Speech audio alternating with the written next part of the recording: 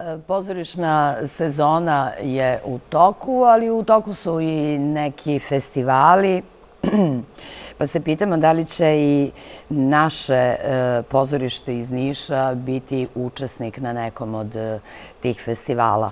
Do 20. oktobra, čini mi se, nema predstava u Narodnom pozorištu.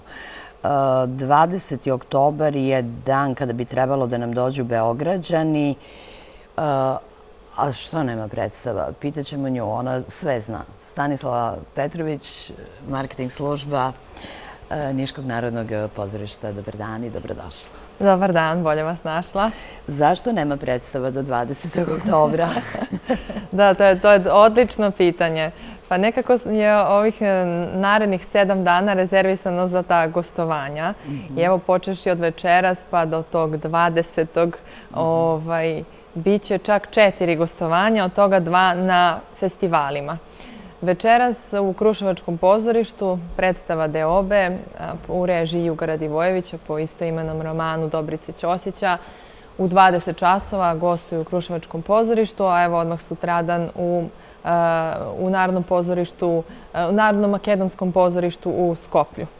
Što s tim dali takav tempo? Pa Kruševac, pa odmah u autobus, pa pravac Skoplje. Nema odmora, odmah da. Zagrevanje večeras, sutra.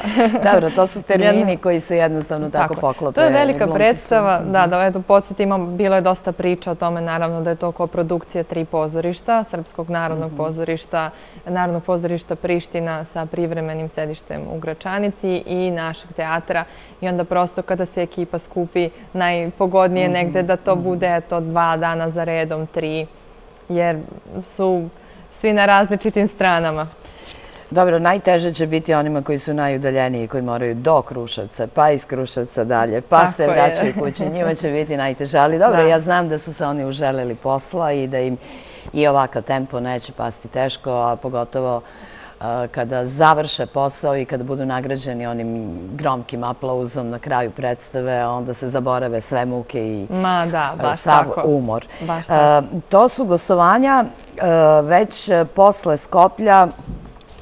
Jedan deo ansambla ide i u Zaječar, čini mi se. Tako je, ponedeljak, to je 18. oktobar, predstava Ana Karenjina učestvuje na festivalu Dani Zorana Radmilovića koji se održava u pozorištu Zaječaru, mhm. Narodnom pozorištu Timočke krajine Zoran Radmilović, kako se zove, kao i festival. I e, ovoga puta Dragana Mićalović u Lozijane. Znamo da se ona i mhm. Katarina Arsić smenjuju, pa će eto Gaga pokazati svoju veštinu na danima Zorana Radmilovića kao i svi ostali iz ansambla. To su nam Miloš Cvetković u ulozi, um, u drugoj glavnoj ulozi Danilo Petrović, Stefan Mladenović, uh, Nada Nedović-Tekinder, kog sam ispustila, uh, Dejan Cicmilović naravno. Mhm. Tako da, e, tražena predstava je to sada na još jednom festivalu. Posle ovog našeg teatra na Raskršću nekako učestvujemo na festivalima mhm. neprestano. Evo čisto da podsjetim da su tu bili Joakimovi dani, pa smo mi mhm. nastupili sa predstavom gde smo ono stali, uzeli tri nagrade. Nadamo se... Uzeli ste sve što ste mogli da uzmete? Pa bili smo skromni, skromni. Samo tri. Samo tri. Ovaj, nadamo se, eto, i Ana Karenina ovog puta. Mhm. A 20. to je sreda naredne nedelje, još jedan festival. To je onako novi festival, drugi put po redu se održava, e, nosi naziv UPAD e, zbog toga što je to njihov cilj je promovisanje pozorišne umetnosti mladim ljudima i mhm. ovaj, celu organizaciju preuzima Studenski kulturni centar u Novom Sadu. I predstava koja gostuje iz naše mhm. kuće je 6. oktobar, priča o jednom letovanju. Pored uh, Aleksandra Mihajlovića i Vesne Stanković u ulozi dva roditelja, mhm. eto tih mlađih uh, nam je tu Marko. Su novosađani nabavili auto ili vi vozite svoj? Mi ćemo ipak voziti svoj na drugo. Da znamo, da znamo. Da.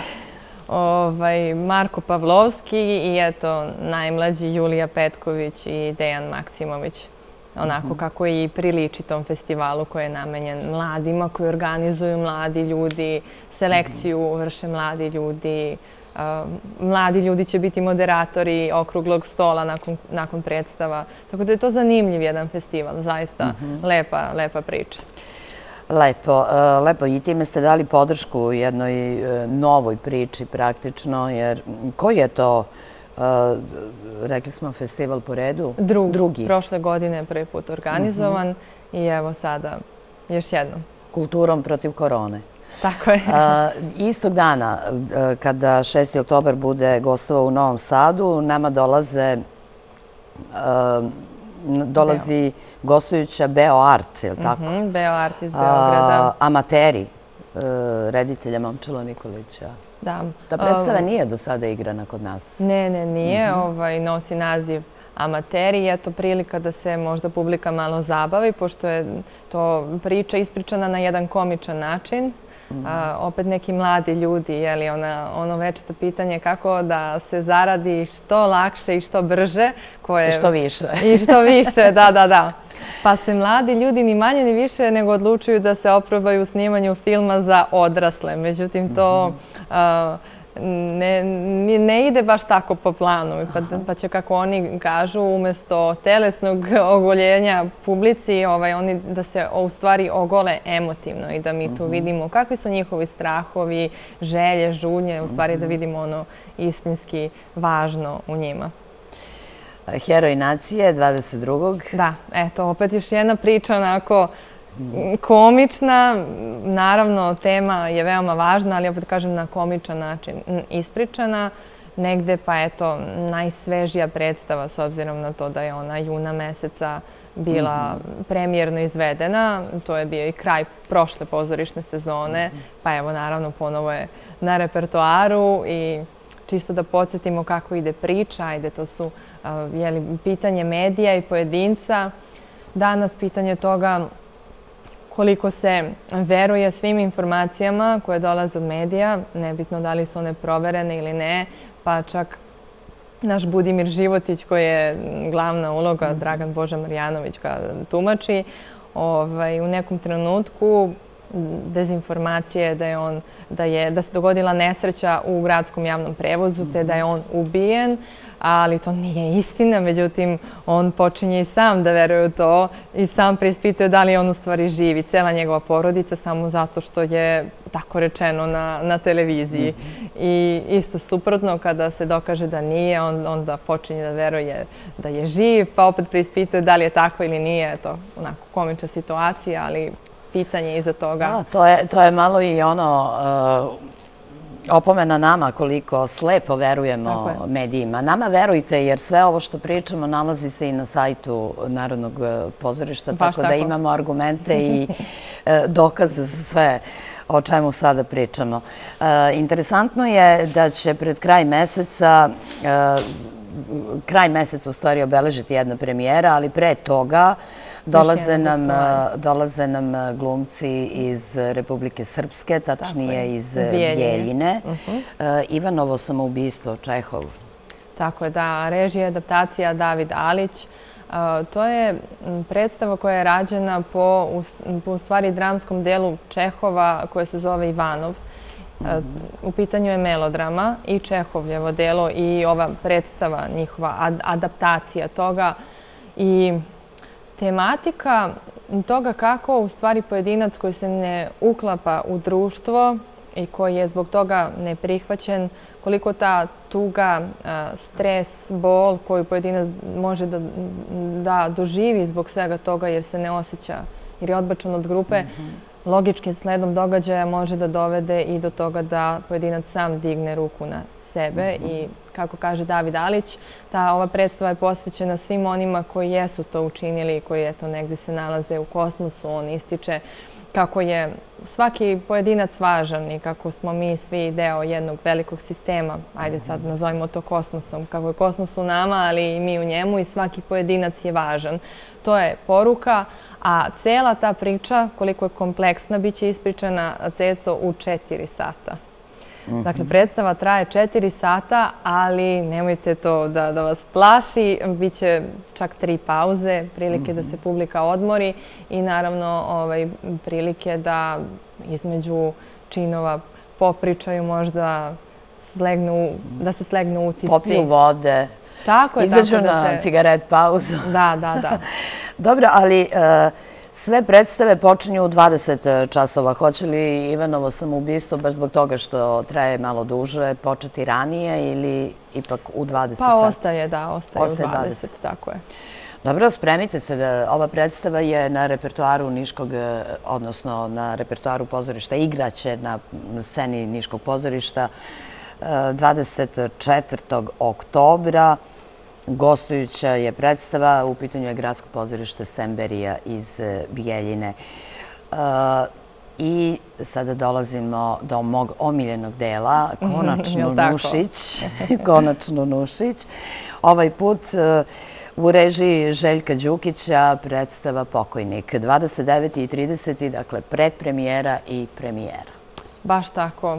A, oni o, ovu predstavu spremaju od juna meseca i čak su i tokom teatra, odnosno pre, posle, radili punom parom. To je gotovo ansambl predstava, dakle dosta njih učestvuje. E, Igra u predstavi e, Maja Vukojević, Vuković-Cvetković, Ivana Nedović, e, Aleksandar Mihajlović, Aleksandar Marinković, e, Miloš Cvetković, Stefan Mladenović, Katarina Arsić, Katarina Mitić-Pavlović i Aleksandar Krstić. Sve nepoznati glumci, da vam kažem. Nikog ne znam. od njih. Anonimusi, ali ja verujem da će dati sve od sebe. ovaj, tako da, baš tako, sjajna jedna glumačka ekipa. Znamo Nušić, eto da je on onako i satiričar i To komičar. uvek aktuelan. Tako je, ova Danas tema... pogotovo, to ja mislim. Da, izuzetno. Mislim, kritikuje jedno društvo koje je licemerno, nemoralno, koje je sklono preljubi i govori o tome kako pojedinac nikada ne može protiv vlasti i kako sam čovek koji je žive, to slično kao heroj nacije, samo na, na, drugi, na, Na drugu stranu, način, da, da. drugačije, koji je živ, ne može da dokaže da, da nije mrtav, odnosno pre će se dokazati da jeste mrtav. Tako da, onako paradoksalna, absurdna gotovo priča. Zakazana za 30. Karte su već u prodaji. Cena karte iznosi 600 dinara. Za sve ostale predstave koje su reprizne, e, cena karte iznosi 400 dinara. I naravno postoji popust za studente, đake, penzionere i za organizovanu prodaju. I dalje važi e, maska, je li tako? I dalje imate ograničenje ili ne? Da, ograničenje postoji, e, to je nekih 270 mesta, možda pa nešto više od trećine, a, ali ne možemo da kažemo ni gotovo polovina. U svakom slučaju, raspored je takav da imamo I dva dalje sedimo sedeća. u cik-cak.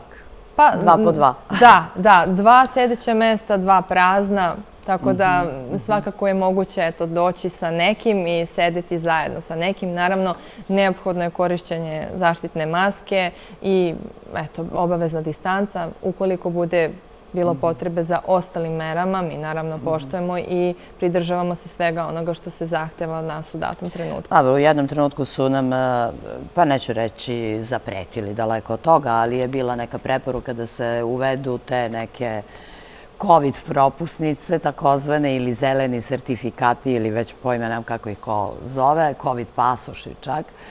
A, dakle, vi niste od onih koji traže da je neko vakcinisan, potvrda da je vakcinisan, da je preležao, da Ne, je ne, to nije neophodno. antitela, antigenski test. Za festival je bilo neophodno. li ćemo sve to da zaboravimo, to mi nije jasno, da se jednostavno opustimo i da odemo sa uživanjem da pogledamo neku e, predstavu. Ono što e, je, što ja primećujem, da ste lepo preskočili neke bitne datume ovog e, meseca. Počinje period e, krsnih slava, tako da baš na dan, recimo 27. kada se obeležava Sveta Petka ili 31. na Svetog Luku, nemate predstave. Nemamo predstava, da, i trudimo se da eto, to tako i ostane. Ovaj, možemo još da pomenemo, eto, bit će ubrzo i zvanično saopštenje i obaveštenje da krećemo sa probama Hasanaginice. Još jedno onako zvučno, interesantno, interesantno delo. Pa, izaći će informacije, dakle, za sada ne iznosimo još uvek javno, ali eto mogu da kažem da je to koprodukcija sa Leskovačkim pozorištem mhm. i da ubrzo kreću probe i da će, eto, da se očekuje premijera možda već u narednom mesecu. Dobro, možda pred novu godinu. Možda i pred novu godinu. Vidjet ćemo koliko će biti brzi i koliko će situacija dozvoliti. Naravno, ovaj, kako se broj povećava, potrebno je biti oprezni. Naravno, glumci su uvek izloženi, ali dobro, uvek je tu sve što može da se uradi u nekom trenutku. Ja mislim da smo najgori period e, prebrodili, odnosno najgori. Nismo još pobedili koronu, ali e, onaj period kada definitivno nismo znali šta može da nam se desi, e, imali smo prošle godine.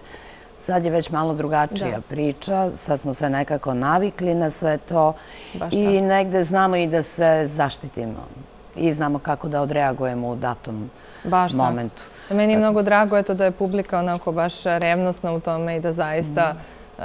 Eto, sigurno da je teško gledati predstavu sa zaštitnom maskom, mm -hmm. ali svi se trude i zaista onako, eto, mislim, ajde da ne kažem svi, ali sigurno većina ljudi da zaista poštuje do kraja onako kako je to zahtevano. Ma i tri maske, samo da se uđe u pozorište i da se vidi i da živi nešto lepo. To je taj neki osjećaj. Nova sezona je krenula, pa evo, naša vrata su otvorena. To je možda najvažnije pitanje sada ovih mhm. dana. Mi radimo i naravno trudimo se da se uklapamo kako je moguće. Pozorište je otvoreno, nadamo se da će tako i biti.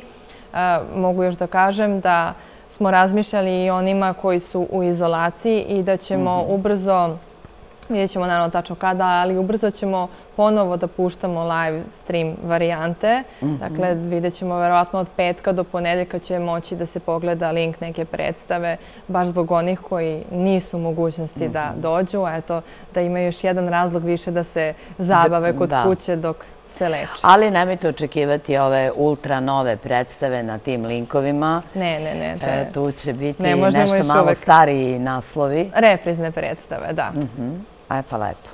Lepo što ste mislili na sve. Uh, hvala vam uh, i na tome, hvala i na izvojenom vremenu. Uh, oktobar je mesec onih koje ugošćujemo i kada gostujemo kod nekih drugih, učestvujemo na festivalima, mnogo sreće na festivalima. I da se vidimo ponovo sa nekim nagradama, zašto ne? Naravno, da, da, nadamo se. Volimo mi da se hvalimo, što? Pa da, kao ono što kažu, ima se, može se. Pa džabe nagrada ako niko ne vidi da ste je dobili i niko ne čuje, pa šta sad? To nam je prilika da se onako radujemo i da obavestimo javnost o lepim vestima. Jasno, hvala najljepše. Bila je ovo Stanislava Petrović, e, marketing služba Narodnog pozorišta Niš. A, jubilarni 20. Međunarodni festival Klapa Perast održan je pre otprilike mesec dana, 10. i 11. septembra na pjaci Svetog Nikole. Prema programu obeležavanja ovog velikog jubileja, festival je ove godine bio e, revijalnog e, karaktera, nije bilo takmičenja, jer da je bilo takmičenja, ja ne znam kako bi i gde bi više čuvali te nagrade, oni o kojima priča koju ćete videti e, sledi. E, Niški je e, vokalni sastav u pitanju. Oni su i ranijih godina na Perastu nagrađivani. Reklo bi se da su postali pravi miljenici što stručnog žirija, što publike. 2010. Vinska pesma osvojila je prvu nagradu sručnog žirija za najbolju novu pesmu i za najbolji aranžman, dok je u kategoriji muških klapa osvojila treću nagradu žirija i prvu nagradu publike. 2011. druga pesma, Kraj mora zauvek, e, također kao nova pesma, treća nagrada žirija za interpretaciju, muziku i aranžman i prva nagrada publike. 2012. ponovo prva nagrada publike, treća žirija, E, naravno, za kategoriju Nova klapa pesma. 2013. ja ne mogu više ovo da ređam. Bolje samo...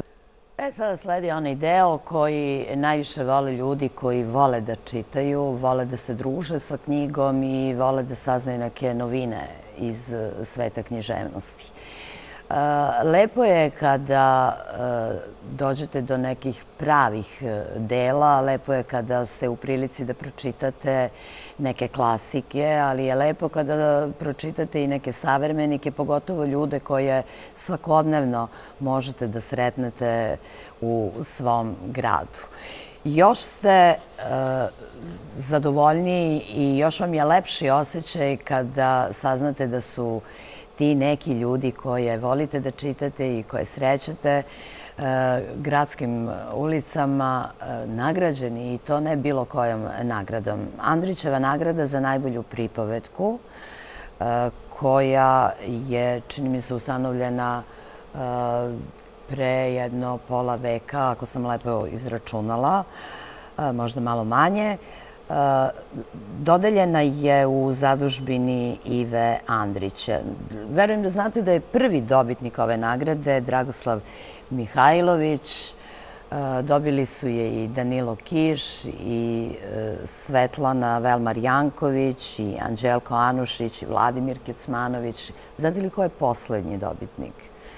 E, barem u nizu, poslednji. Dejan e, Deksa Stojljković, pisac iz Niša, gost danas. Dobar dan, sve čestitke i dobrodošli. Hvala. I kako je sad kad se nađete rame uz rame na ovom spisku sa nekim velikim imenima književnosti, nekim imenima koje ste morali da pročitate kad ste išli u školu? Pa dobro, to je velika čast uvek e, pogotovo zato što nagrada nosi ime našeg jednog Nobelovca i pisa koji je uzor svima nama. Znači, što mogu stvarno da kažem i u ime mojih kolega, svi mi na neki način smo pisali ili pišemo pod utjecajem Andrića. Tako da ovaj, kada se i vidi taj spisak laureata, to je stvarno jedna velika čast, ali istovremeno i obaveza. Jer mm posle toga ni čovjek ne može da gleda pisac, ne gleda na sebe na isti način, niti ga čitoci gledaju na isti način, znači percepcija je drugačija i onda osjećaš neku obavezu, je tak, tek sad treba da radim da bi uopšte bio dostojan nagrade koje nosi jedno tako ime. Mhm.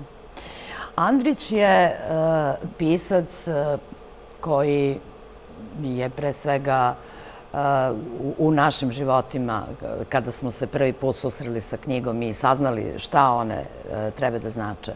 Prvo nama bio obaveza, onda je bio omiljeni pisac, a sada je, e, pa i uzor, a sada je e, neka konstanta kojoj apsolutno svi mlađi pisci teže.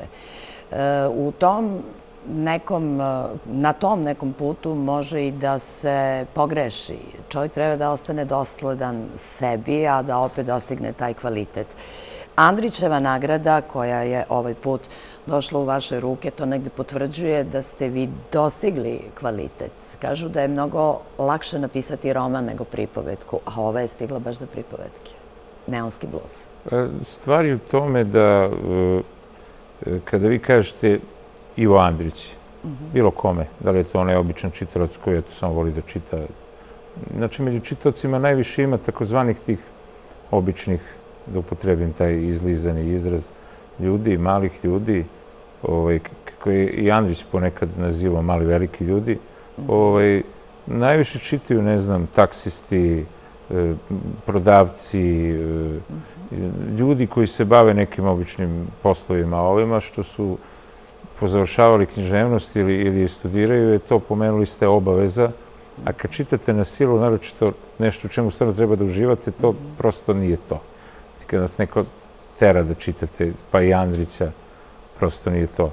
I, ove, i prosto zato što, što, što dosta ljudi koji čitaju Andrića, bez obzira na socijalni status, na to kako doživljavaju književnost, ne kažete ime Iva Andrića, oni su uvijek, recite to sad, da primjer, izađete sa vašom ekipom ovde u, na gradski trg i pitajte, ne znam, deset ljudi šta im prvo, kojim delo njegovo prvo padne na pamet. Ja mislim da će od njih deset, devet reći ime nekog romana, na Drini Ćupri ili Prokleta Možda će, ali možda deseti reci ima neke pripovetke.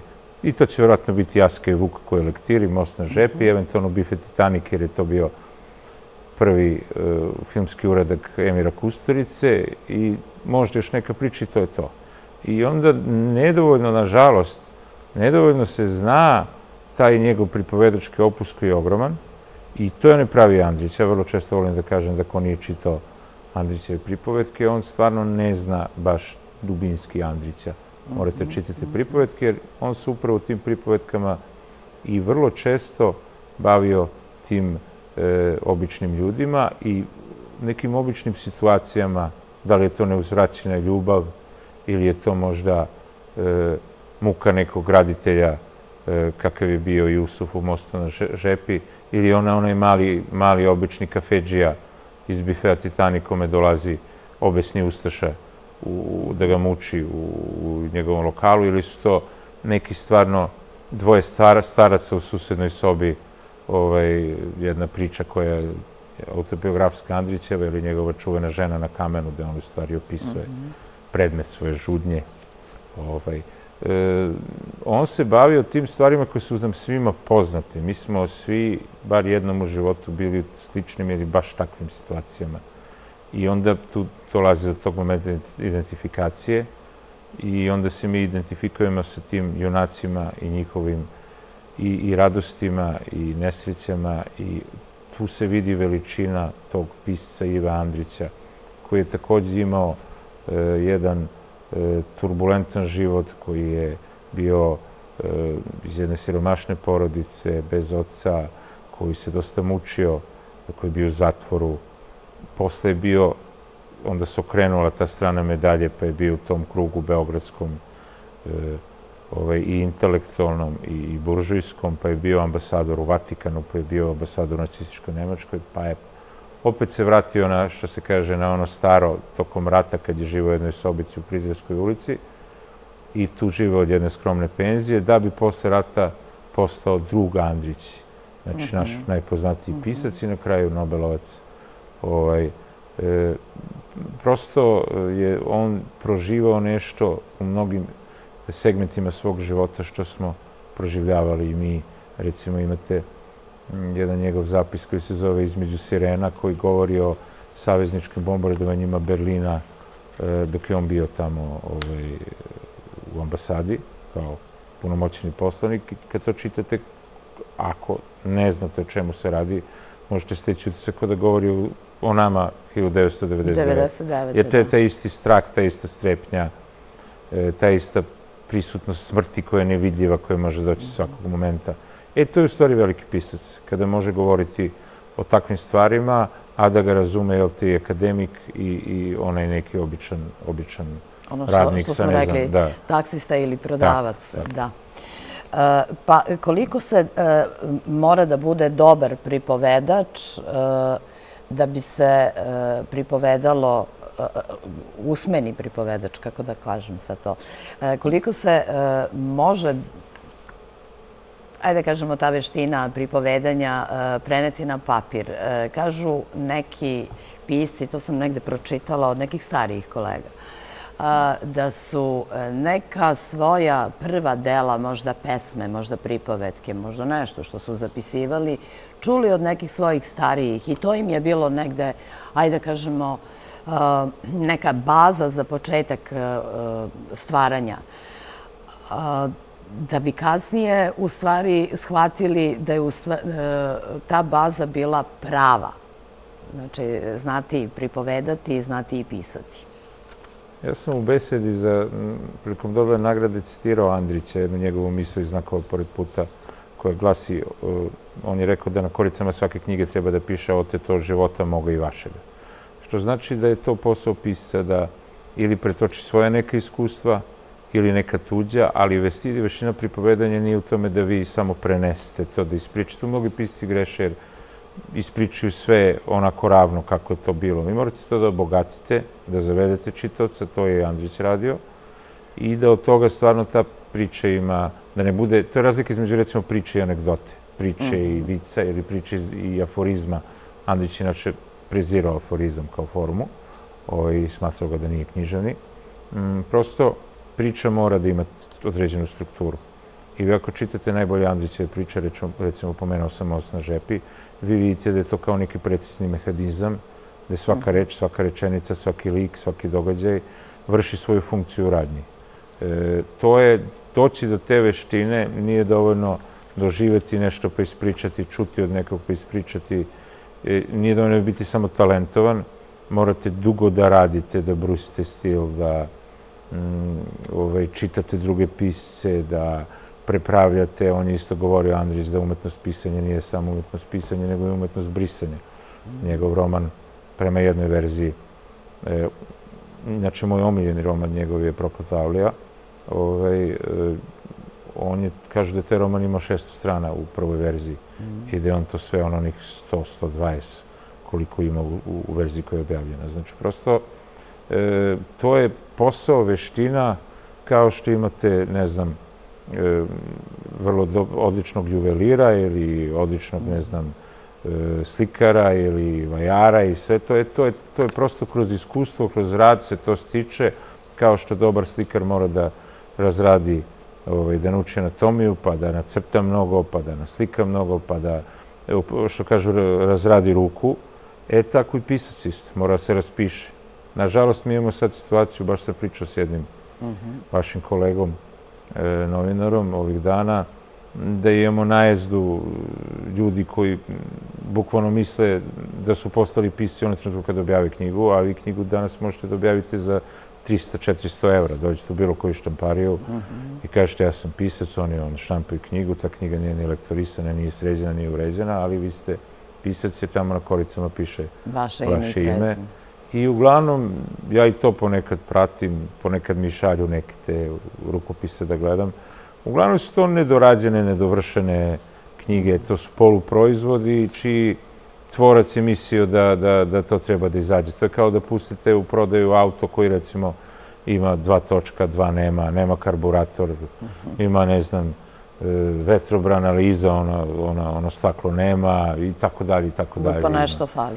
Fali mu žmigavac ili tako nešto. Oni misle da je to gotovo i naravno, pošto je to opet svaka umetnost je određena narcisoidna projekcija, oni smatriju da je to, pošto su uvek okruženi čitocima koji su uglavnom ili prijatelji ili rođaci ili mm. tako dobronamerni, ovaj, im kažu da je to super i onda to tako ide. Onda. Koliko je toga brušenjem vaših rukopisa otpalo? Pa evo, na primjer, ja sam došao u Lagunu kod moje urednice sa nekih 16-17 priča. Ne mogu setim tačno koliko je bilo, čak mislim da jedna novela bila. I rekao sam ja hoću da moja sljedeća knjiga se zove tako. Naravno, nije bio taj naslov, bio je posle drugi. E, ovaj, I hoću da bude koncipirana kao rock album. Mi je rekao, pa znaš, prosječni rock album ima 8 do 10 pesama. Des, desetak je otprilike to, na jednoj strani ploče pet, na drugoj strani pet pesama. I ovaj, neće moći ovako. I onda smo mi odbacili jedan deo tih priča. Bilo to izvanrednih priča koji se nisu uklapale u taj ciklus. Ovaj, tako da smo sveli na deset, pa smo onda i tih deset sređivali, doređivali. One su ranije, mnogo od njih su ranije bilo objavljene, ali prosto je moralo opet sve to da se prođe. Uglavnom, vidim da, da, da mlade nove pisce krasi to što je možda mm, pošast ovog vremena, zbog brzog protoka informacija, zbog ovih tableta, interneta, ekrana, ekrančića i tako dalje, a to je da nemaju dovoljno strpljenja i nemaju dovoljno koncentracije. Znači, oni nemaju strpljenja da oni čekaju to sad, da ono će što pre da izdak jednu knjigu, pa drugu, pa treću, pa onda je frustriran što tu nema nekog uspeha, nagrada, čitalac i čega već, pa mu je uvek, naravno, drugi neko kriv. I nemaju, nemaju stvarno koncentracije da se, treba stvarno velike koncentracije, naročito što ako pišete nešto što je epohi. Ja recimo imam prva moja priča u toj zbirci se događa u Starom Rimu, ovaj, u vreme Kludija Gotskog, a posljedno se događa u Leningradu pod nacističkom opsadom. Znači, ste morali stanete da proučite to, da uđete. Prosto se nema strpljenja za to, svi bi odmah da to bude ad hoc. Ali onda šta je, pa bolje da napišete jednu kvalitetnu priču kojom ste zadovoljni i da nju izdate, nego da napišete njih deset koji su, eto to, poluproizvodi. Mnogo još treba da vode prođe dok neki mladi ne shvate kako se postaje kvalitetan, pre svega pisac. Koliko to još nagrada fali? Znam da e, je mnogo, mnogo nagrada došlo e, u vaše ruke. Šta je ono što vam je promaklo? Šta je ono što priželjkujete od nagrada? Ja ne pišem za nagrade, nikad nisam ni ovaj, ni...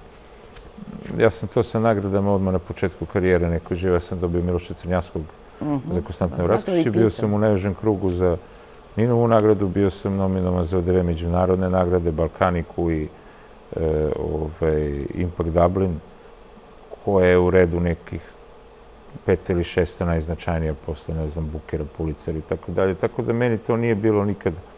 Ja sam rekao, dobro, to je to, eto, Crnjanski, to je to, šta će mi više, hoću ja da pišem za publiku i da eksperimentišem u formu i da se bavim nekim drugim formama kao što je scenario ili pozorišna, pozorišni komadi i tako dalje. Nikad me nije to toliko vuklo, e, ali jednostavno to nekako najbolje kad dođe samo od sebe, kad uopšte ne slutite da ja nisam, na primjer, bio objavljen najože krug za Andrića, ja nisam to ni znao, nisam ni vidio igrom slučaja. Znači, saznao sam tek kad se žiri izglasao to. Ali poenta je u tome da, ne znam i da ne pričam dalje, da je recimo predstava Konstantin ovaj, dobila dve sterijne nagrade, da je da sam radio možda najnagrađivaniju seriju u posljednje vreme, mm -hmm. Senke na Balkanu. Senke. Je, izdobijali su neke silne, ne, ne znam nija ko već, šta već. Meni je stvarno to veliko zadovoljstvo, ne znam, kad vidim da e, Vesna Trivalić dobije nagradu za ulogu koju sam ja pisao od, od početka do kraja. Eto, to je, to je, to jeste satisfakcija. S druge strane, mene ipak zanimaju neke druge stvari i onda kad ovako dođe nagrada, to je, to je super. Ima dosta pisaca na sceni koji se... Ali tu ste negde zadovoljniji, možda uh, smireniji da se skoncentrišete na ono što vam jeste, bitnije od nagrada. Jeste, naravno, ali ima pisaca koji recimo, ja znam dosta kolega koji stvarno otvoreno kažu da pišu da bi dobili nagrade i onda gledaju koju je žiriju, pa onda znaju otprilike tačno, aha, ovaj više voli tradicionalni, ovaj više voli postmodernizam, ja se ću nešto između toga da napravim kako bi se ovaj, E, dodvorio žiriju. Ili imamo recimo konkretno žiri za Ninovu nagradu koji je otvoreno u tekstovima u Ninu poručuje piscima kao oni deci ne valjalo je. Aj sad vi sedite tu u pačici mali i sad će vama ovaj, veliki patak dača da vam objasni e, treba da pišete o ratovima 90-ih, treba da osuđujete sobstveni narod, treba budete malo autošovinisti, ali budete malo ovako i onako sve to da odeste, e onda možete da, onda će nam damo možda neki širi krug, a mi već znamo kom ćemo da damo, to je neki naš drugar gde su mi odredili. Ima i toga. Znači, tako da, ovaj, to je prosto to. Ako želim neku nagradu, i to stvarno iskreno kažem, to je možda nagrada u, u sferi stripa.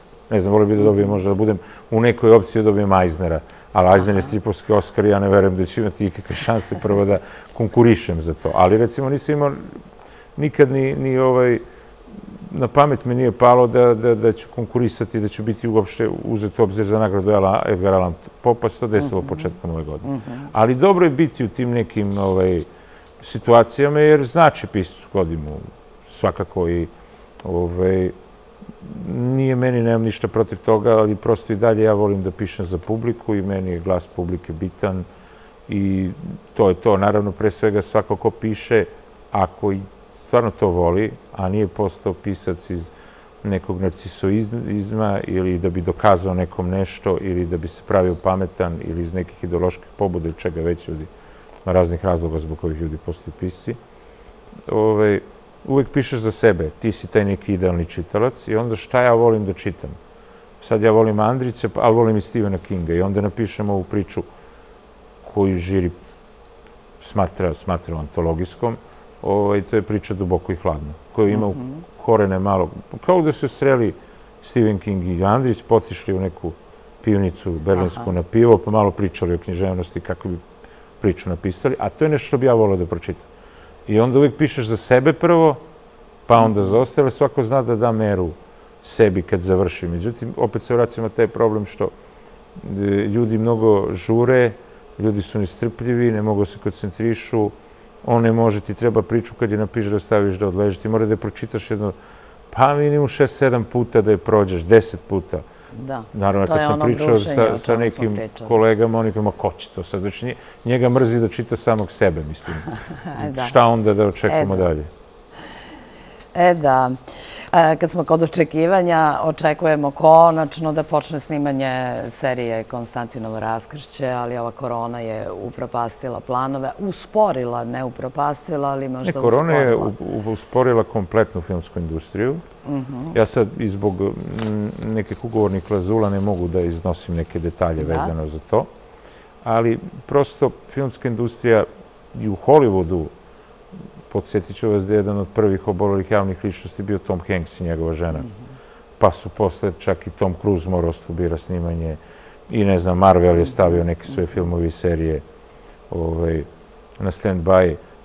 Imali su, ja to znam jer pričam sa, sa ljudima iz filma, stvarno probleme. Znači, ljudi, jer, hvala Bogu, naši filmađije su dosta odgovorni ljudi u tom, po tom smislu. Znači, ako neko dobije COVID, tu se odmah stopira snimanje, ide se, Jasno. testira se cela ekipa, zaustavlja se, a to nažalost košta i vremena i novca i onda mnogi, da se ta snimanja planiraju vrlo detaljno, e, same e, mere bezbednosti na, na lokacijama su takođe vrlo rigorozne i prosto jednostavno se čeka uvek za ne, neko, nešto pogodnije. Ja to mogu da kažem da mislim da ćemo sledeće godine krenuti sa snimanjem. A umeđu vremenu eto, uradi- uradit ćemo integral stripa konstantno raskršće, pa će onda se pojavi, ja mislim da nove godine, eto da, čitavci se da zabave se- malo dok ne počne serija. Da, i novog povoda da se vidimo tim, uh, tim pre u ovom studiju. Uh, Piše li se uh, možda neki tekst za neku muziku? Pitam to zbog toga što sam za kraj ostavila nešto što nas je obradovalo. To je bilo vreme pre korone, je li tako? Da, da, E, Saradnja sa Nišlijom e, Dejanom Najdanovićem Najdom. E, Za kraj smo ostavili pesmu Oslobodi me. To je po Da, da, vašem to je, to je tekstu. obrada grupe Mišan, na to pevaju Aco Celtic i i, Najda, i, da. Najda, a tekst je, nije prepev, Mhm. nego je baš tekst originalno moj. To smo malo onako, to se Ali, druga... ali je dobro da je i prepev dovoljno uh, efektan, isto kao da. i original. Pa ovaj, to smo se našli drugari malo, pa smo, pa smo radili zajedno. Posle Najda, ja i on smo imali saradnju, uradili smo jedan disk, maxi single, koji je bio, tekstovi bili- su bili isprisani mojom knjigom Dukat za leđara, a on je posle radio muziku. To je originalna muzika njegova i to je vrlo lepo prošlo, ali nažalost nismo mogli, eto, i zbog tog nesrećnog COVID-a, da to promovišemo uživo. Jer, mislim, tako stoje stvari u muzičkoj industriji, vi ako ne promovišete album, ne promovišete pesme, ne idete na turneje, ne idete koncerte, ljudi nemaju priliku baš da čuju, čuju da čuju pesme, to. da. A meni je stvarno strašno krivo što još uvek nisam čuo te pesme uživo, ali mislim da će biti prilike samo polako. Biće prilike svakako. Uh, Dejane, mnogo hvala na izdvojenom vremenu. Još jednom sve čestitke na nagradi. Za kraj smo rekli, čućemo Najdu i Celtika u pesmi Oslobodi me. E, a vama preporuka da nabavite, ako do sada niste, zbirku pripovedaka Neonski bluz Dejana Stojiljkovića, niškog e, pisa. Ovako za ove dane, taman, kažu, e, legne. Da se još jednom podsjetimo i na reči meteorologa, kažu sutra oko sredine dana bit će kišovito, temperatura u Nišu od 6 do 8 stepeni. Sutra će biti jedan od hladnijih dana u ovom e, talasu, a već od ponedeljka nas očekuje otopljavanje sa temperaturama više od 20 E, hvala što ste bili tu i danas. Sutra sa vama Marija, a mi se vidimo u ponedeljak.